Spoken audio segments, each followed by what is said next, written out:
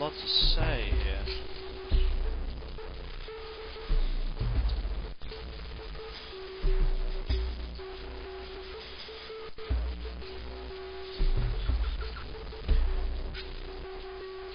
Well, I have the three main locations. I think the best bet for me is to go to the Dracoid Cemetery.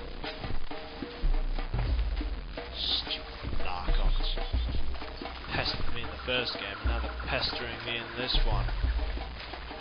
At least.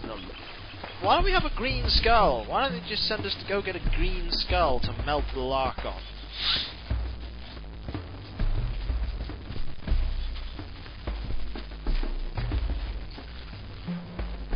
Right, so I need a green stone to get into the temple.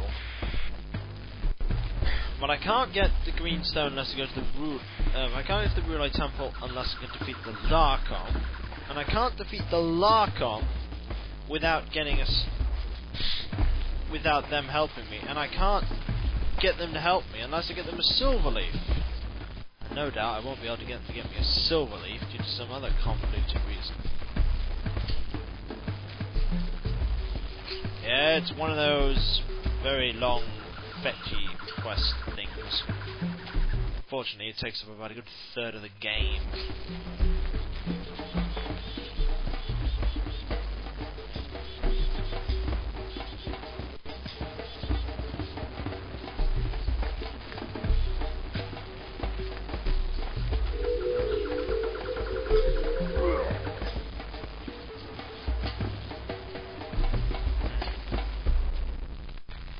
Wonder what this is. Oh, It's a very precariously balanced.